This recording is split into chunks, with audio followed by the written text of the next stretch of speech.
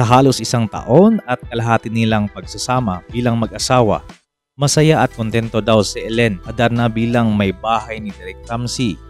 Ikinasal sila noong November 11, 2021 o less than 9 months mula nang maging magkasintahan sila.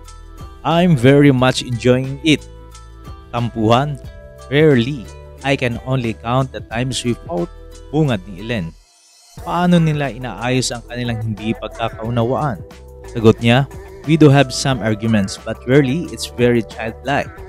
From beginning, pa-start pa ng aming relationship namin, parang naset na yung boundaries. Like I say, we fight, he can say things to me and he honors it. He respect it and vice versa.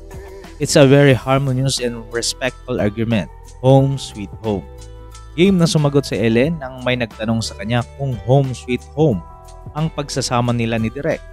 Ang Home Sweet Home ay titulo ng defunct kapamilya sitcom kung saan nagkatrabaho noon si Ellen at ang ex-boyfriend na si John Lloyd Cruz.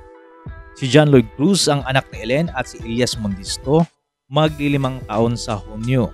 Sang-ayon si Ellen, yeah, home sweet home, very home sweet home. He plays golf. I have my me time. And then papatulugin ko si Elias and the afternoon. Quality time with the rec. Pag naglalaro si Elias sa park at night, tulog kami. Elias still sleeps with us. Derek Ramsey and Ellen Adarna marry a new and Pero. No to showbiz for now. Sa ngayon ay pansamantalang iniwan ni Ellen at Derek ang showbiz. Nagpo-focus daw ang mister sa business nitong real estate. Okay naman siya. Alam mo, ibibigay na natin sa kanya kasi di ba he's been working so long in industry. He's 47 pwede rin namang magpahinga and mag-enjoy. Pinaghirapan niya. We work hard on it also, sabi niya.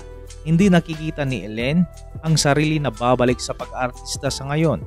Ang huling proyekto niya ay ang sitcom ng John and Ellen noong 2021. For now, I like the peace that I have with my life and I'm enjoying it. Kasi 'di ba alam mo naman, with it comes a lot of controversies in drama. Hindi for now, hindi mo na talaga.